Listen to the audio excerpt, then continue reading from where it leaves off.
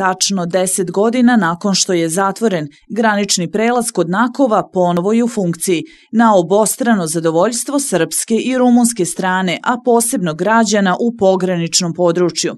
U protekle tri nedelje ubrzano se radilo kako bi sve bilo spremno za dugo najavljivano ponovno podizanje rampe, ovoga puta za stalno. Svečanom otvaranju graničnog prelaza prisustvovali su najviši zvaničnici Srbije i Rumunije. Hoću pre svega da se zahvalim okupljenom narodu i sa srpske i sa rumunske strane i sad više nema strana, nekako smo se izmešali i to je najlepša slika koja postoji. Što se srpske strane tiče, ljudi iz Nakova, ljudi iz Kikinde, više od 20 godina im je obećavano da će ovaj međudržavni prelaz da bude otvoren. Imali smo malogranični do 2004. onda smo i taj zatvorili, a ljudi su čekali jer im to skraćuje put ne samo do Temišvara i Jarada, već im olakšava komunikaciju sa rumunskim prijateljima, olakšava ekonomske, kulturne i sve druge veze. I zato sam danas posebno ponosan što ovde prisustujemo otvaranju prelaza Nakovo Lunga, uveren da će i građani Rumunije i građani Srbije imati veliku korist od ovog prelaza. Vlada Viktora Ponte i naša vlada radile su vredno i za Mi smo predlog taj dobili pre 10 meseci, za samo 10 meseci uspeli smo da otvorimo ovaj prelaz i to je veliki uspeh za nas. Želim da iskoristim priliku da se posebno zahvalim premijeru Rumunije Viktoru Ponti. Nadam se da ćemo ovako uspešnu, dobru i prijateljsku saradnju nastaviti i sada za 7 dana kada postane predsednik. Mi nemamo ništa što bi nas razdvajalo, a imamo mnogo toga što nas spaja. Mi smo do sada imali i u buduće očekujemo veliku pomoć i podršku Rumunije na evropskom putu Srbije, a Rumunija je mogla i uvek će moći da računa i da ima u Srbiji velikog i iskrenog prijatelja.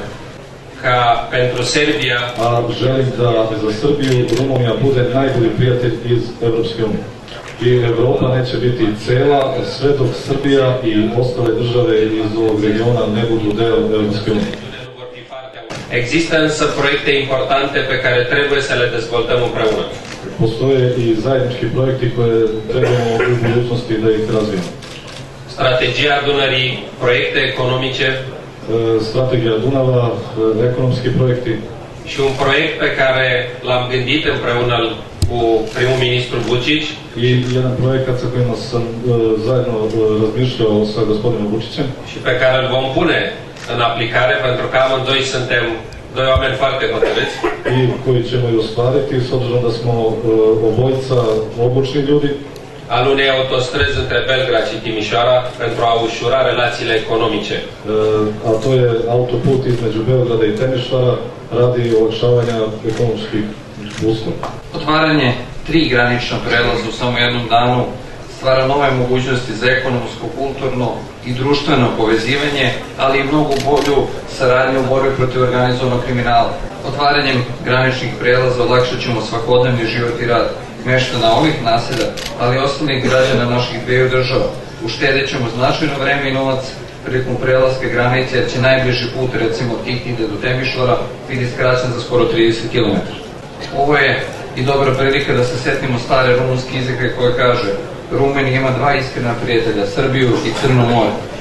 Ovim su otvorena nova vrata za budućnost Kikinde i Severnog Banata, kaže predsjednik Kikinske opštine Pavle Markov, dodajući da je ovo samo početak i da u narednom periodu na najbolji način treba iskoristiti ovaj događaj.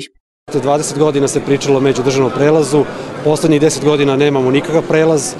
Mi smo u jednom roku od eto, 10 meseci uspeli da dođemo do međudržavnog prelaza i to je nešto što otvara jedna potpuno nova vrata za budućnost Kikinde i Severnog Banata.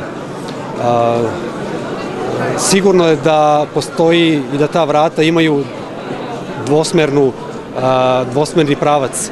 S jedne strane, mi kao Kikinda moramo da iznađemo sve one mogućnosti koje će nam doneti ova granica, a to znači od skraćenja, prvenstveno mislim na ekonomske dobiti, od skraćenja puta i, da kažem, snižavanja svih troškova koji pri tome se postižu, do otvaranja novog tržišta, kao što znate, Timiš regija je i sam grad Temišvar je jedan od najperspektivnijih gradova ovog dela Evrope.